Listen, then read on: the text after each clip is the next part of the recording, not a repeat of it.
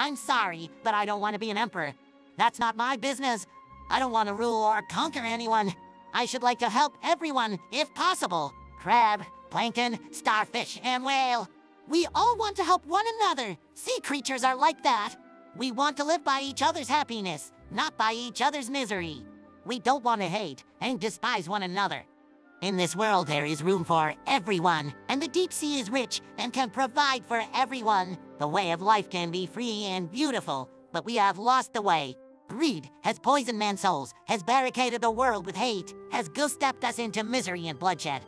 We have developed speed, but we have shut ourselves in. Machinery that gives abundance has left us in want. Our knowledge has made us cynical.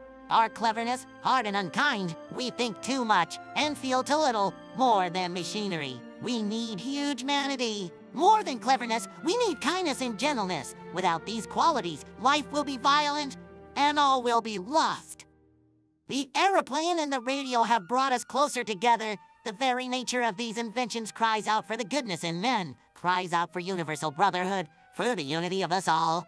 Even now, my voice is reaching millions throughout the world. Millions of despairing men, women, and little children. Victims of a system that makes men torture and imprison innocent people. To those who can hear me, I say, do not despair. The misery that is now upon us is but the passing of greed.